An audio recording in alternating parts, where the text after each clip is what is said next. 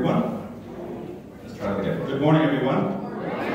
I know you can do better with your mask. I know you have your mask on, but still, um, I thought we were going to have one more round of band there, so, uh, but that's okay. Nice to see you all here this morning, and uh, I believe that God is going to meet us here in a special way.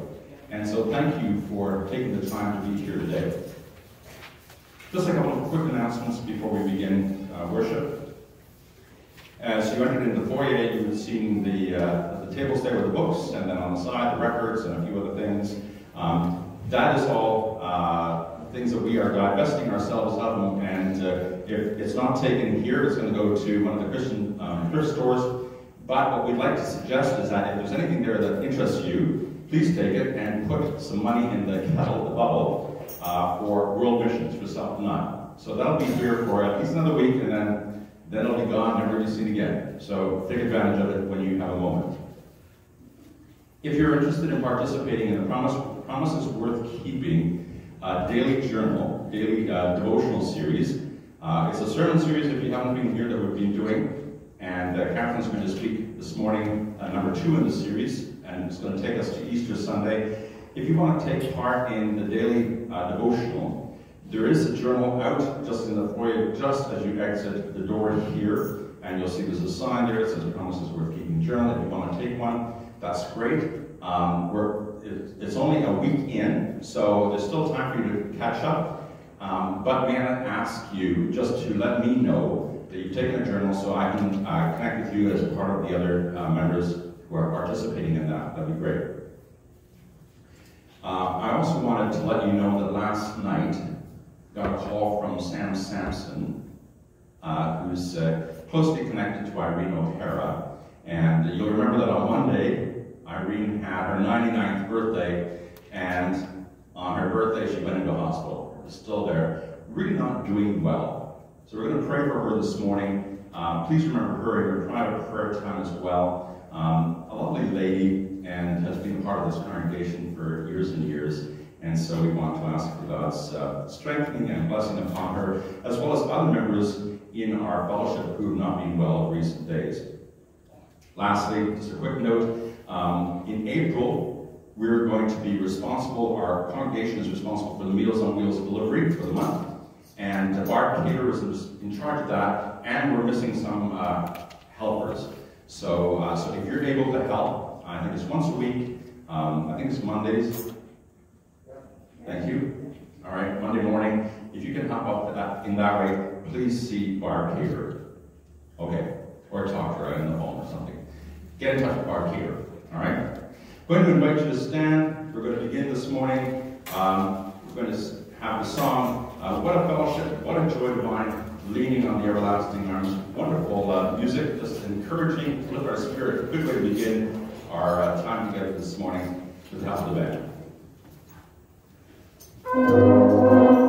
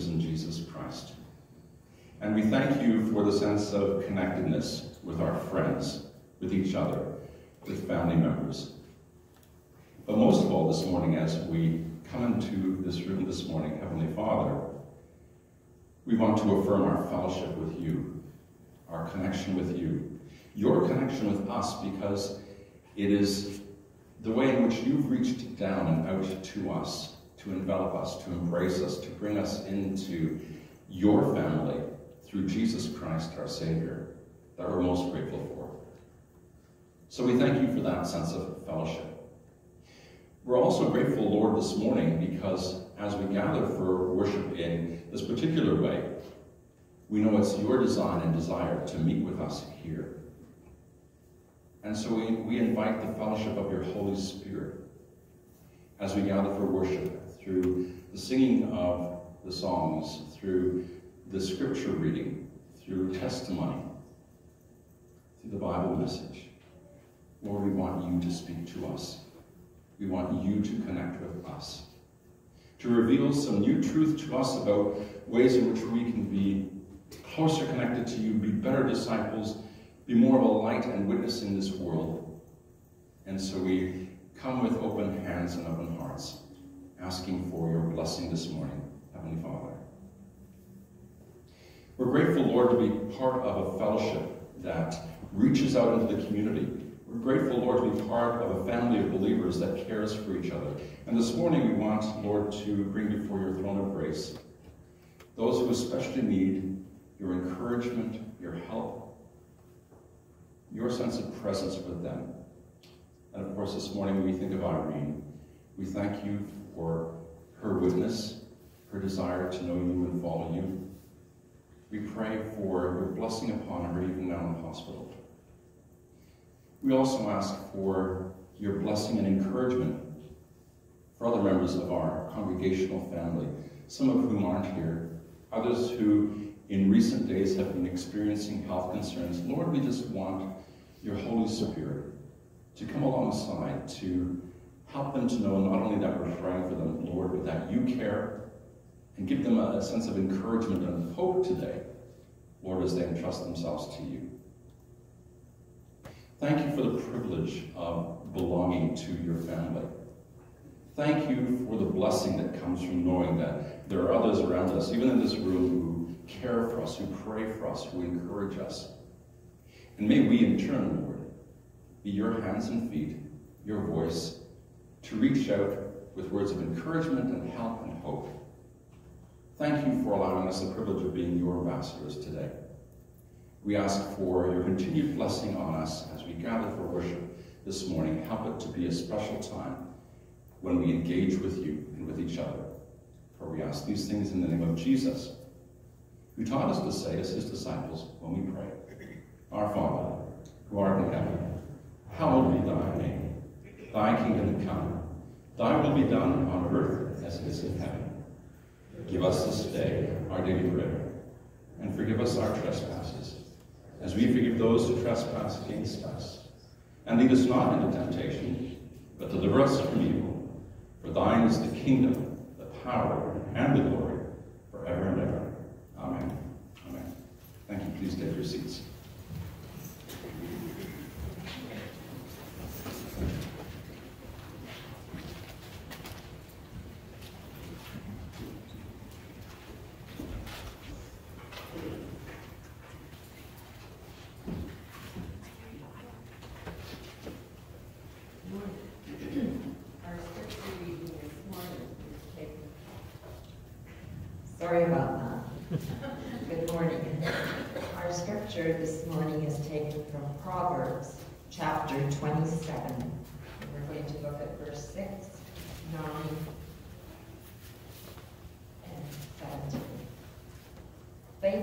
are the wounds of a friend, but the kisses of an enemy are deceitful. Ointment and perfume delight the heart, and the sweetness of a man's friend gives delight by hearty counsel. As iron sharpens iron, so a man sharpens the countenance of his friend. May God add a blessing to the reading of his word. Catherine asked me a few days ago if I would be willing to share a time in, the life, in my life when I had a friendship that encouraged and helped me grow and persevere in my walk as a Christian, and also to keep my promise and commitment to God. I looked up friendship in Webster's dictionary, and it says, a friend is a person whom one knows very well, is very fond of, an ally, and a supporter. This friendship I'm going to tell you about started a long time ago, actually 50, nearly 57 years ago, um, just shortly after Don and I were married. And living in Toronto, I was a long way from Huntsville, and I was 16 years old and not near family. Don and I started attending a church, and we eventually became very unhappy there, knowing that was not the place for us. And so we decided to quit attending. This is where this very special lady who loved the Lord, Helen, came into my life. Helen and her husband were our landlords. Our apartment was in their home. We became very good friends, her taking me under her wing. One day she noticed that we weren't attending church anymore and she became concerned about our spiritual life. She invited me to help her with memorizing scripture verses. She had a pack just like this with scripture verses in it, little cards. I think you can still buy them at Bible Book. And every day, she would go through these verses, and I would listen to make sure that she was saying everything right, because she wanted to keep the verses of Scripture, God's Word, hidden in her heart. In Psalm 119, verse 11 says, Thy word have I hid in my heart, that I might not sin against thee. Helen believed in hiding God's word in her heart and encouraged me to do so also. We shared a wonderful time each day with the Lord together, praying and sharing God's word. As we continued our friendship, she said to me, when children are around the age of four, it's the perfect time for them, teach them the verses of Scripture, that they may hide the Bible in their heart as well, and also before the world gets too big of influence on them. As our children became around that age, I remembered Helen's advice, and I helped our children learn for themselves to hide God's Word in their heart. She encouraged me to try a Bible chapel. Remember, we weren't going to church. She encouraged me to try a Bible chapel not too far away, which we eventually did. God was looking after us. This church was very friendly. We even were invited on the first Sunday to a young couple's home for lunch. We became involved in many things, the choir, young adults, and I became involved in a ladies' Bible study and exercise time. Just a few of the things we participated in. What a blessed time we had of fellowship. You know, I don't believe it was any accident that Don had found that apartment for us. It was God's divine direction. He knew what I would need with Helen's friendship in a big city where I knew no one. He made a way when I needed to find my way back to him. I'm not sure where we would have ended up if it hadn't been for God's divine leading protection in our lives. I thank him for that every day. That was many years ago. I've had many friendships since. Friends who have been there for me, mentored me, corrected me in the Lord, but you know, there's one special friend, Jesus. He's the greatest friend we can have.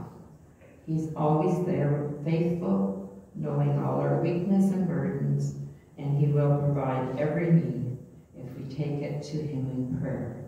Jesus is always the same, today, yesterday, and forever.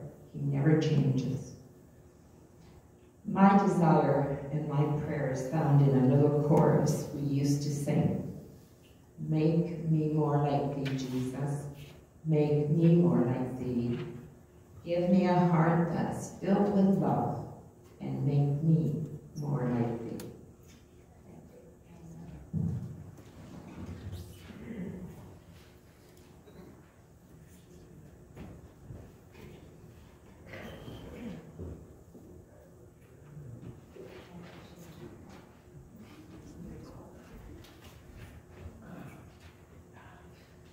So we actually have quite a few kids today, so I'm not going to make them all try and cram onto bench that's left at the front because I think that's against COVID rules. But this week, um, during our adventure through the promises, I'm going to talk to you guys, mostly the kids, but this is definitely good for the adults too, about finding friends who follow Jesus. So, in my opinion, having friends that follow Jesus means that you are part of the coolest group of friends possible. Like, definitely the coolest group. So, people who follow Jesus are definitely the coolest people to be friends with. The Bible says in Proverbs 12, verse 16, a good person takes advice from his friends, but an evil person is easily led to do wrong. That's why it's so important to make sure your friends are people you can actually get advice from. So it is so important that we all choose our friends really wisely.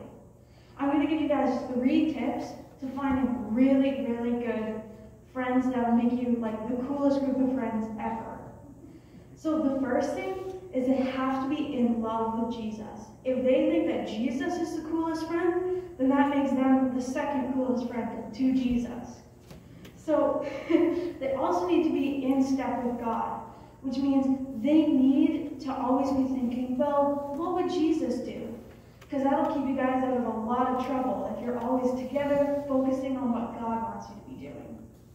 And the third thing is it's so awesome to find friends that are involved in Jesus' work. They, if they use their hands to help people and not to harm people, you know that it'll be a long-lasting friendship because they'll pull you in, not push you away. So I'm just going to pray with you kids that you help find, to help you find really, really good Christian friends. So, dear God, I just pray over all these awesome kids. I know they have so much potential, and I pray that you'll help them find really good, lasting Christian friendships to help build each other up and to help follow you better. I pray that you protect them through schooling, because we all know that schooling is quite hard nowadays. And I just pray that your hand of protection will always be with them and with the friendships that they make. Amen. Morning. As continue in worship, um, I just want to share a couple of things. One is that as I was planning this week, I realized the first two songs I chose are actually both settings of a passage from Revelation 4, just written 200 years apart. And that just really reminded me of the timelessness of Scripture and I also wanted to tie in a little bit with our theme from this previous week of nurturing and growing intimacy with the Lord Jesus Christ. And in Psalm, that was the reading on day six, uh, Psalm 73, he's got to move this up here. Um, starting verse 25. Whom have I in heaven but you? There is none upon earth that a desire besides you. My flesh and my heart fail, but God is the strength of my heart and my portion forever. And verse 28, but it is good for me to draw near to God. I have put my trust in the Lord God, that I may declare all your works.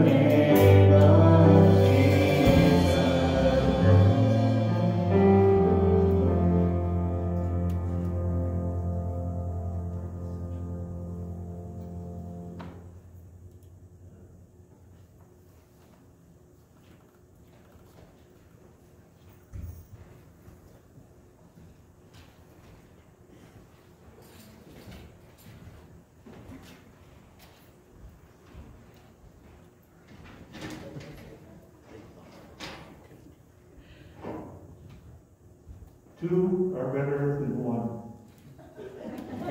Because they have a good return for their work.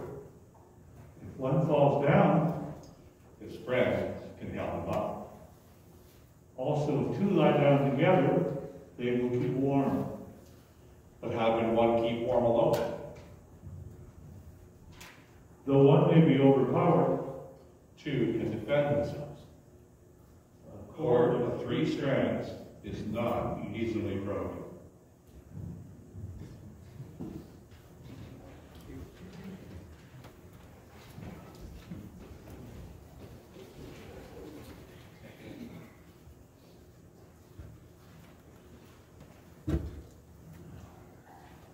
Want to thank um, those who have participated in worship this morning. Uh, Sheila, just a wonderful testimony and sharing about the theme for today, the importance of having a spiritual friend, uh, a, a couple of real spiritual friends uh, is even better. But and uh, Todd and Bob and the band, the worship, I was thinking there a few minutes ago, even though it's so difficult not to sing, that possibly it's an opportunity just to take in the words even more, uh, the meaning of what normally we would be singing, and just to worship as we uh, consider the truth of the music and the melody washes over us. Um, I don't know about you, but I hope you. We have different personalities. For me, sometimes, like in that last song, I just want to jump for joy or just shout uh, God's praise and, and, and just worship Him. Um,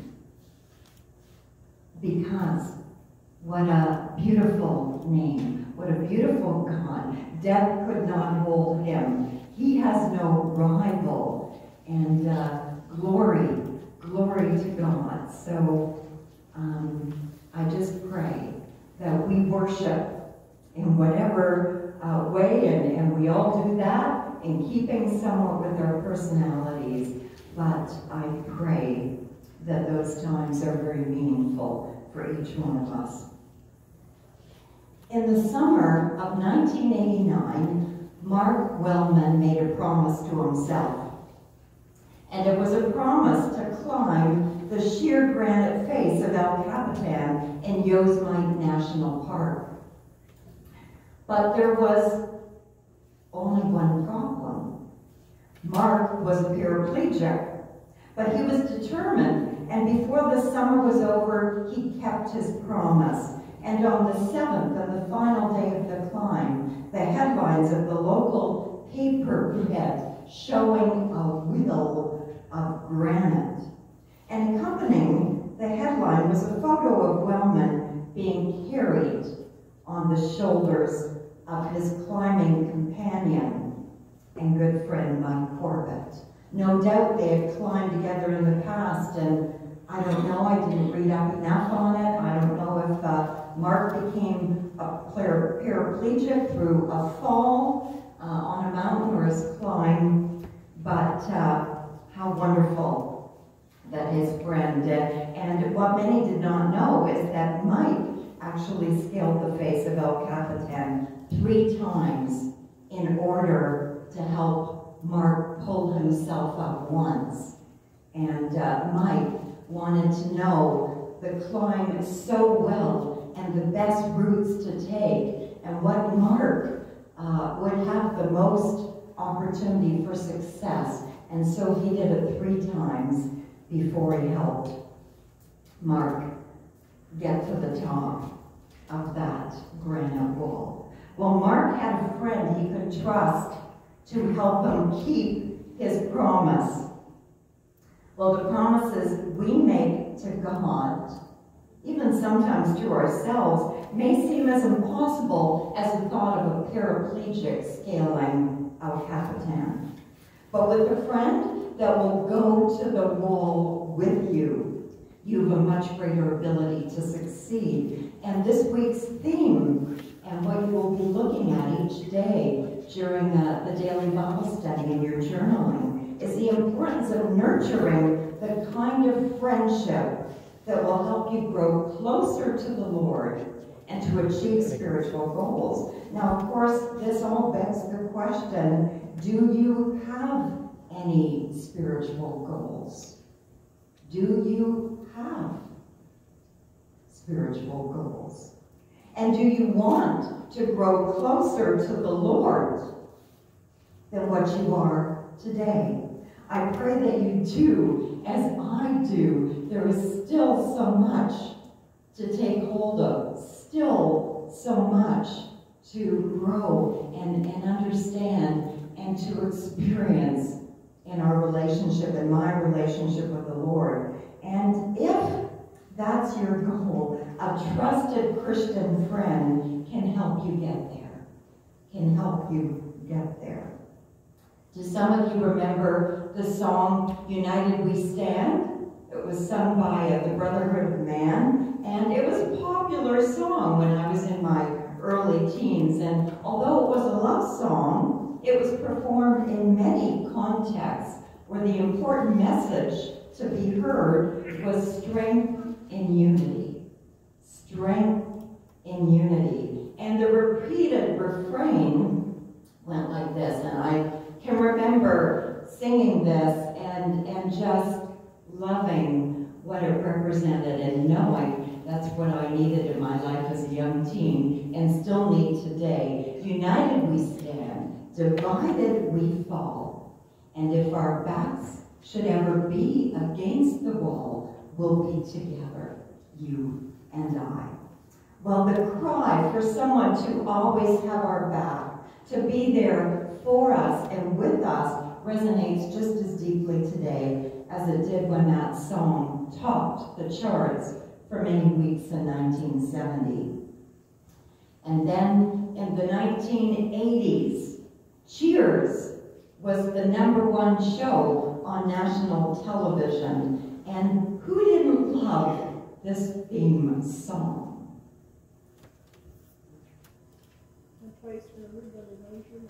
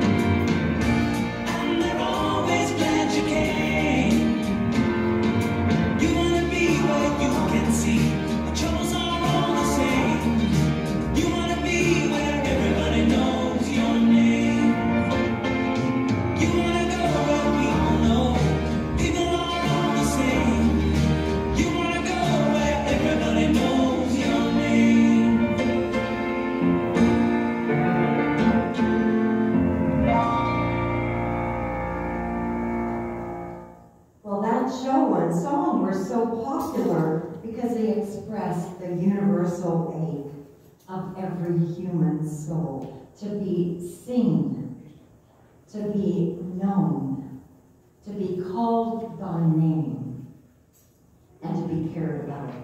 And so much so that it became almost a symbol for the kind of community that every church and every church attender should experience. That sense of welcome and warmth and being known and being cared for. Within us all, there is a deep drive that seeks companionship, community, unconditional love and acceptance, and support when we need it. It's a value system that precedes the fall of mankind through sin's entry and its devastating results in our lives and our world. It's a value system rooted in the Garden of Eden itself, where God declared it is not good for man to be alone. And that declaration of dependence is indelibly inked on the parchment of my personality and your personality. The book of Proverbs is filled with pithy words of wisdom that help us to live well if we will apply their truth in our own lives. And Proverbs 27, as Sheila shared with us this morning, has some great words of counsel that relate to this week's theme. Let's read them together. Wounds from a friend can be trusted, but an enemy multiplies kisses. Perfume and incense bring joy to the heart, and the pleasantness of a friend springs from their heartfelt advice.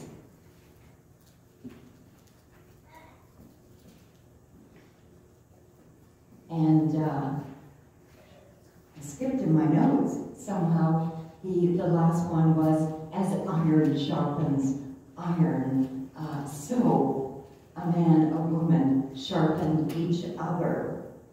As we uh, talk about the Lord and our relationship with the Lord and what it means and His Word, and we search out Scripture truths and uh, understand together with God's help ourselves and the Lord and the world we live in and all the things that are important to us in life and in the Christian life as well. Well, God gives us a priceless gift of friendship for our relational needs. Everybody needs that. Uh, Christian, non-Christian, we all need relational relationships. But he also, God gives us friendship for our spiritual well-being. And as Christians, that's an important aspect of our friendships, or at least one or two friendships that can play that role in our lives. You see, friends aren't hindered by the blind spots that sometimes keep us from seeing ourselves as we really are. We all have those blind spots. And uh, a good friend, wounds from, from a friend are better than kisses from an enemy. And they can help us in love become a better person and challenge us in love where we're maybe not seeing how we really are, how we come across or react in a situation. Friends are willing to hurt our feelings to save our reputations.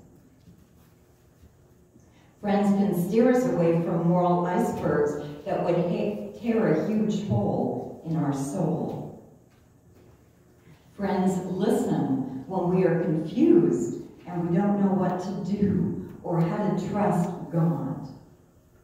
Friends challenge us with truth. And true friends accept our imperfections and they forgive us.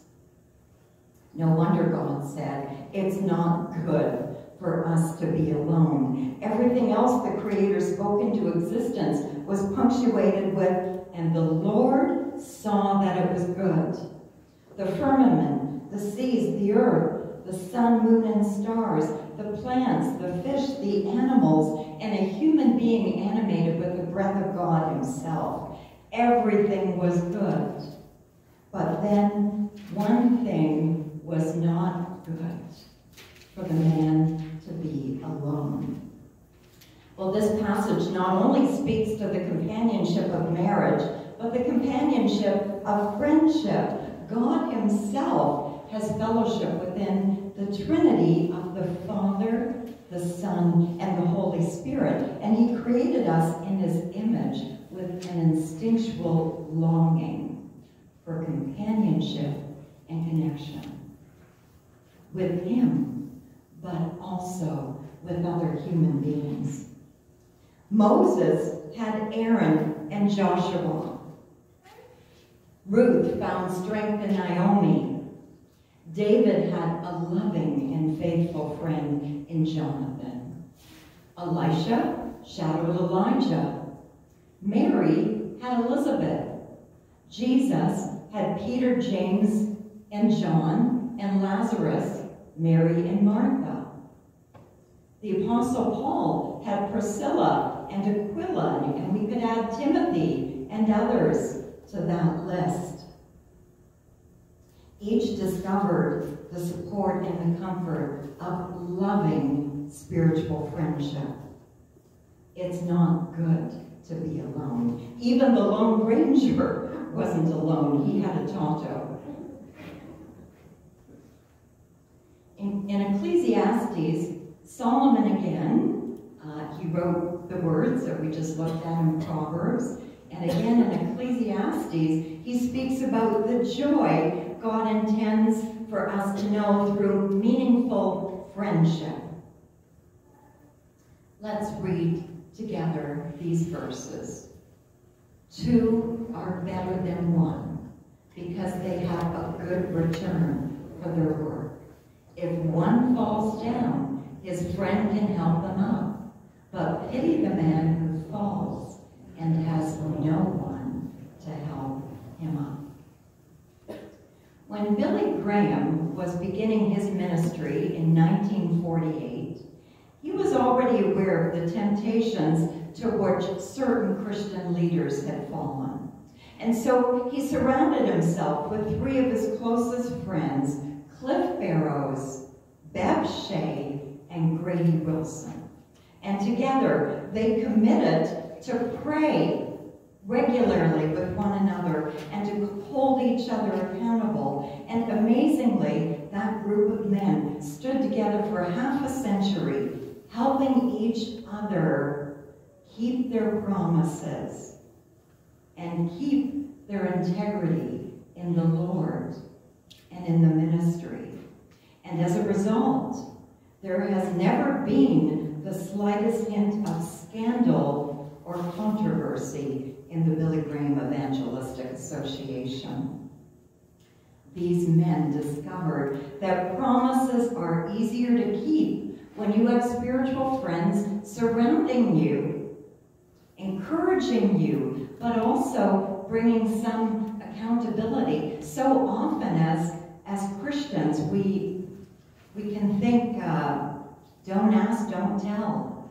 And, uh, you know, uh, it's, it's not maybe the thing to do to ask someone about uh, how their Christian walk is going. Uh, can I pray for you? Are you experiencing some temptations or troubles? And we remain in spiritual isolation, just doing our best and hoping that it looks good, we look good, and we can hold it all together.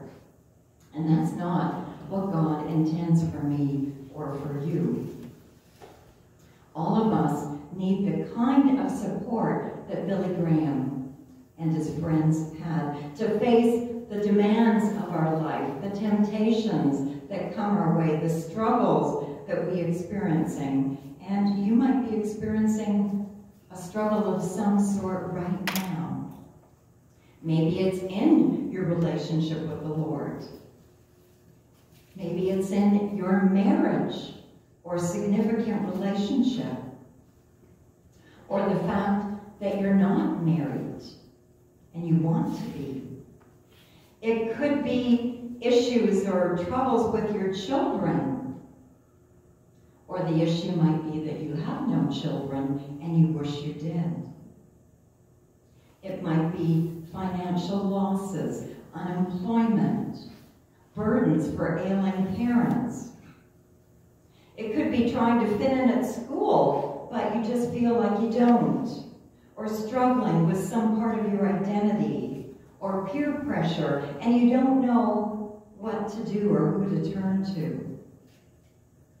It could be some crisis or an unexpected trial, and you can add to the list what you're experiencing right now. Whatever the case, you need a friend. And not just any friend, but a spiritual friend. Someone who will love you unconditionally and listen and respond without judgment. Yet someone who will challenge you and help make you better than you would be on your own. Help make you better than you would be on your own. And I pray we would all have the courage and be humble enough to accept that. In fact, to seek that.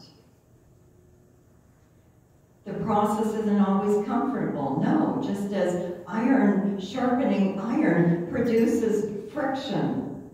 But it's a crucial component in our lives if we want to be our best and have the joy and the freedom of being completely known and loved as we are, even as with the help of the Holy Spirit and our friend, we pursue um, greater things in our relationship with the Lord, uh, in our personal development, or whatever, whatever areas of life that the Lord would have us grow in. And so the challenge this week is come out of spiritual isolation, where you've lived your Christian life privately, and nobody knows what you're going through, or what's really going on, or how you feel, or where you might be struggling, or even failing, be it in your Christian walk or some other area.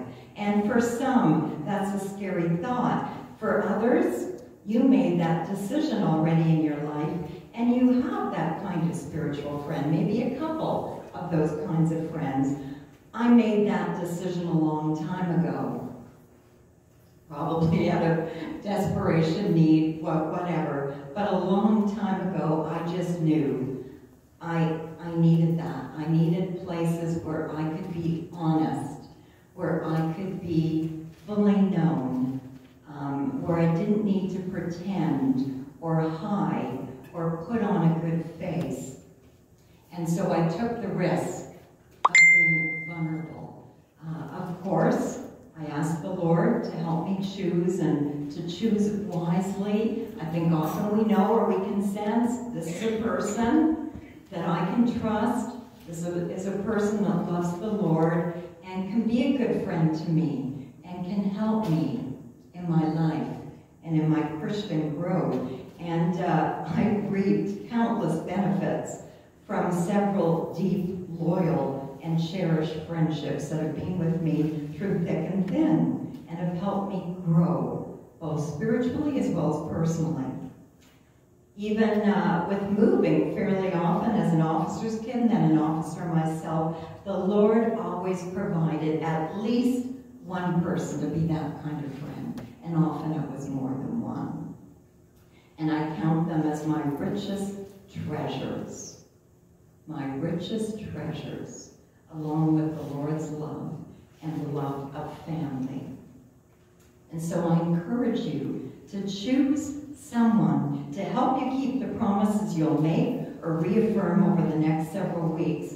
Of course, it can be someone from our church, but it can be anyone who is a Christian.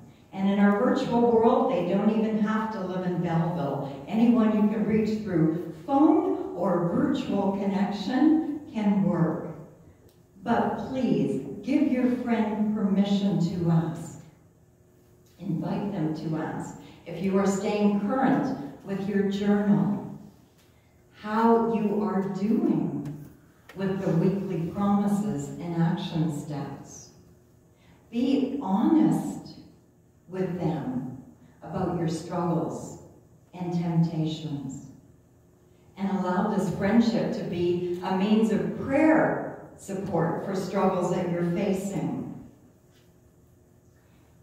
And as a spiritual friend to someone else, offer them your unconditional friendship, no matter how strong or weak their faith is or what they're going through. Acknowledge your own vulnerability in this journey of life and recall together God's faithfulness in the past and his promises for today and for tomorrow. Some years ago, I saw the movie The Man with the Iron Mask. Has anyone else ever seen that movie? I see a few, few hands. Well, Leonardo DiCaprio plays both a young King Louis XIV of France as well as his fictional twin brother, identical twin brother. And for years, because of jealousy or threat uh, to the kingdom, to the power, the young king has kept his twin hidden from society in the royal dungeon. And not only is he kept behind bars, he's imprisoned behind a hideous iron mask. His identity is concealed and his fate is sealed. That is, until the famed and fearless Three Musketeers come to the rescue. Well, wrinkled by time and slowed by age, each remains motivated by the motto that bound them as comrades decades before, one for all and all for one. Together, they commit to setting the imprisoned prince free and unlocking the iron mask that renders his daily existence one of continual misery and despair. Together, they manage the near impossible feat of freeing the prince. It's a powerful picture of what happens when Christians experience the committed companionship of spiritual friendship. The prisons of our past are opened. The masks that hide our true identity from one another are removed.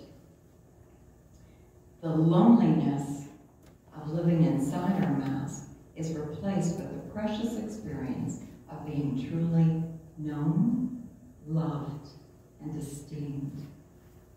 Christian counselor and author Larry Crabb writes in his book, Connecting, I've come to believe that the root of all our personal and emotional difficulties is a lack of togetherness, a failure to connect that keeps us from receiving and prevents the life in us from spilling over onto others. Someone who's experienced the power of godly friendship has this to say, I know a ship that will carry me through the storms of life and unfriendly winds. It is unsink, un unsinkable and capable of any kind of stress. Its anchor holds. Its hull never rusts. It never runs aground. And the nourishment it provides is out of this world. What ship is this? It is companionship. Companionship. The Lord said it, and our own experience confirms it. It's not good for us to be alone. Come out of spiritual isolation. Reap the benefits for yourself and for the work God wants to accomplish in you for His good as well as for your own good. Please bow with me as I pray.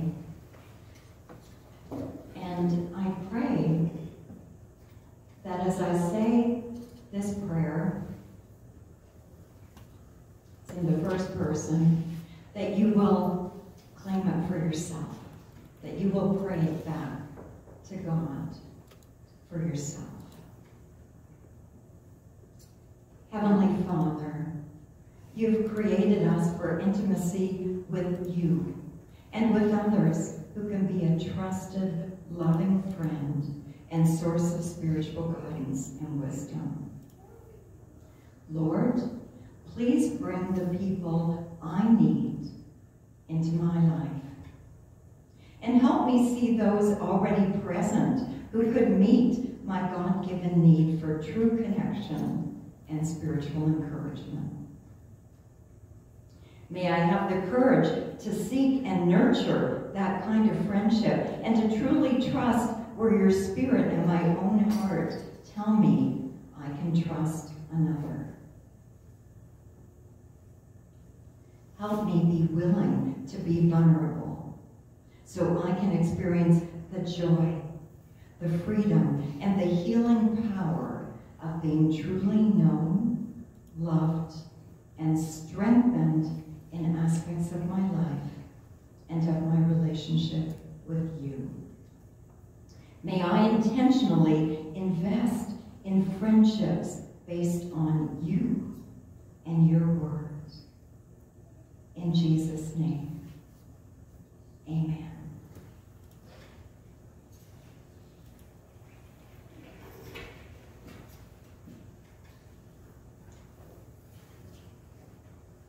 Going to invite you to stand as we sing our closing song, but it's also a song in response to the message this morning, to God's word this morning. Help us to help each other, Lord, each other's cross to bear.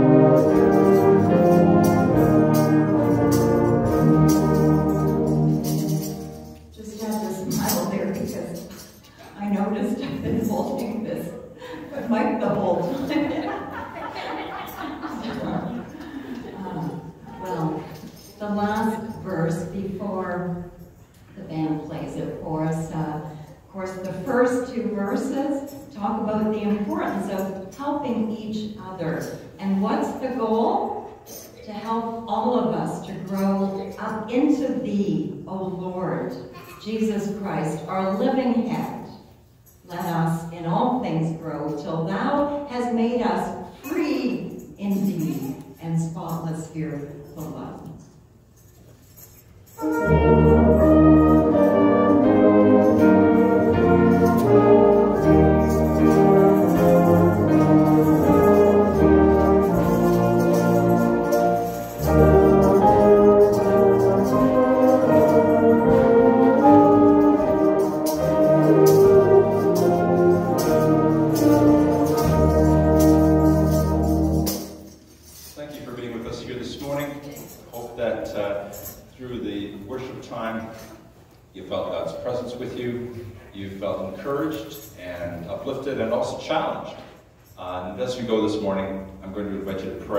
And these are the words from Colossians chapter 1.